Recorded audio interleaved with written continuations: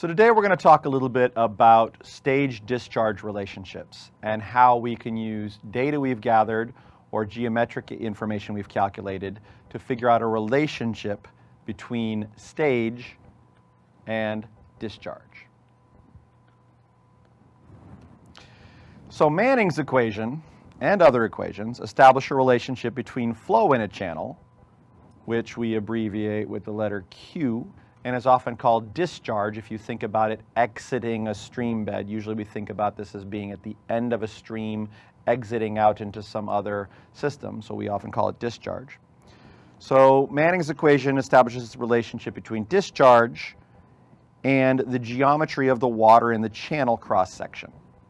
So if we have some sort of channel cross-section here and we know what the geometry of the channel is and there's water in it, well we measure some depth of the water, or actually more frequently it's often written as the height of the water with above a certain datum, okay? But this is called the stage. The stage of the water is depends on how high it is above some sort of datum. And it's effectively the depth of the water at the deepest point in the channel.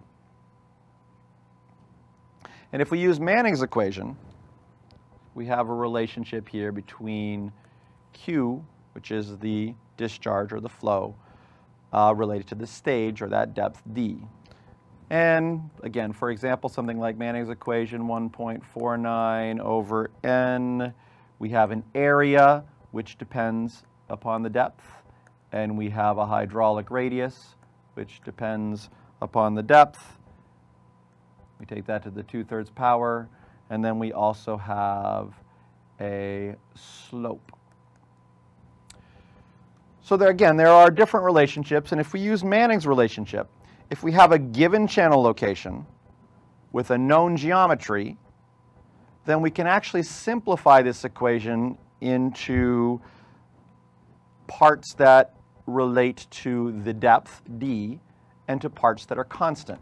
For example, for a given channel, my Manning's coefficient will be a constant, and my slope upstream of the channel will be a constant. And then if we look at the cross section, for example, let's say it is a triangular, triangular cross section like I've drawn here, and perhaps we can parameterize it with some constant values. For example, an angle here, angle theta. Then our relationships, such as our area, our area here might be something like the depth squared divided by the tangent of the angle, if we're looking for the area of a triangle. And again, labeling this as being our depth, okay? The cross-sectional area looks like that. The wetted perimeter can be found using a relationship, 2 times the depth divided by the sine of that angle. And finally, the hydraulic radius, which is the ratio of those two things, can be calculated to be the depth times the cosine of the angle divided by 2. So we can replace this area here in Manning's equation and the hydraulic radius, and we end up with an equation for Q as a function of the depth d that basically 1.49 over n square root of s naught, the cosine of the angle to the 2 thirds power, and then 2 to the 2 thirds power times the tangent of the angle. And all I've done here is I've gathered all the constant pieces, all the constant pieces and put them into sort of one big number, and then there's some dependency and if you do the algebra here, you'll find that it's d to the 8 thirds power. So now we have a dependency upon the stage or the depth of the stage, and then we have some large constant value that takes into account all the other measurements in the geometry. And notice this would change if we had a different shape of the channel cross section. Um, but the idea here is that there was a relationship between the stage and the discharge. Now, more generally, we can write it this way. Q, the discharge, is equal to some coefficient times the stage to the power of some exponent. In this case, you could see where the exponent would be 8 thirds and the coefficient would be dependent upon all those other values. There's our coefficient.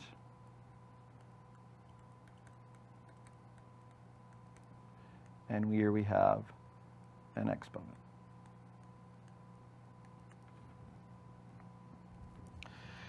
And notice we could plot that relationship by plotting the stage on the x-axis and plotting the flow or the discharge on the y-axis.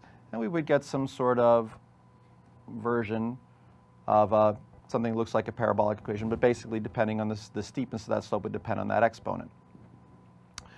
So the interesting thing about equations of this form, in this sort of exponential form, is that we can manipulate them using logarithms. And this is a pretty common uh, tactic when we're trying to analyze complex systems. I'm going to go ahead and take the logarithm of both sides of this equation. And when I do so, I get the logarithm of q is equal to the logarithm of the other side, a d to the b power. Notice I could take logarithm base 10 or natural logarithms or actually any logarithm um, but in this case, we're going to go ahead and assume logarithm base 10. And if we use some logarithmic rules, we know, for example, that the logarithm of two things that are multiplied is equal to the sum of the two logarithms, logarithm of x plus logarithm of y. That's one of the logarithm rules we use. And if we put that in here, we can rewrite this equation, log q is equal to the log of d to the b plus the log of a. Notice I've swapped the a and the d to the b in this case, which will be evident why in just a moment. And another logarithmic rule that we can take advantage of is recognizing that the logarithm of x to the power of k is the same as k times the logarithm of x. In other words, you can move this down in front, the exponent in front of the logarithm. It's the same as multiplying. And if we do that process, we can now rewrite this equation again. The logarithm of q is equal to b logarithm of d plus logarithm of a. Now here's why these substitutions were valuable. What we've done is we've taken a somewhat more complicated equation that had an exponent and a coefficient in it, and reduced it to being a linear equation. Notice this is in the form, if we sort of ignore the logs for the moment, this is in the form y equals mx plus b, as long as we recognize that the logarithm of q could be considered as our y value. The logarithm of d is our x value. The logarithm of a is our b value. And the slope is that large b that we have there. Okay? The fact that this is a linear equation is particularly useful because if we have a series of discharge values, Q, and we have a list of some discharge values here, and we have a series of values D that correspond with those depths and discharges, what we can find is a relationship between these two things. Okay, but what we're going to do instead of finding the relationship that we have here, where we have some curve that we don't know about, what we're going to do, choose to do instead, is we're going to plot the logarithm of d on my x-axis and the logarithm of q on the y-axis. When we do so, if our data really fits this exponential form, we will get something that looks linear on the logarithmic curve. And then what we can choose to do with that curve is to fit the data with a line in the form y equals mx plus b, noting that what was on the x-axis was indeed our logarithm of d, and what was on the y-axis was our logarithm of q.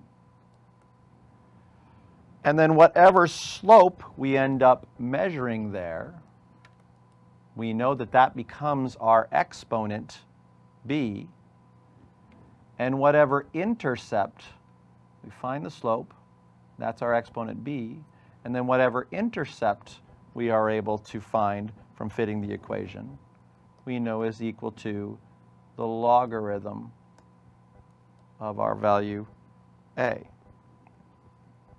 If I plug those things back into sort of my initial equation up here, q equals ad over b, let me rewrite that. q equals ad over b. Let me sort of plug those pieces back in. And instead I recognize that q is equal to d to the m. In other words, the slope of this line. And then I recognize that if logarithm of a is equal to b, I'm going to use the inverse of both of those, which is basically taking them uh, 10 to the exponent is the inverse function of the logarithm. And I can write it this way, 10 to the bth power. So if I can find the m and I can find the b, I can rewrite my equation as q is equal to 10 to the b power times d to the mth power.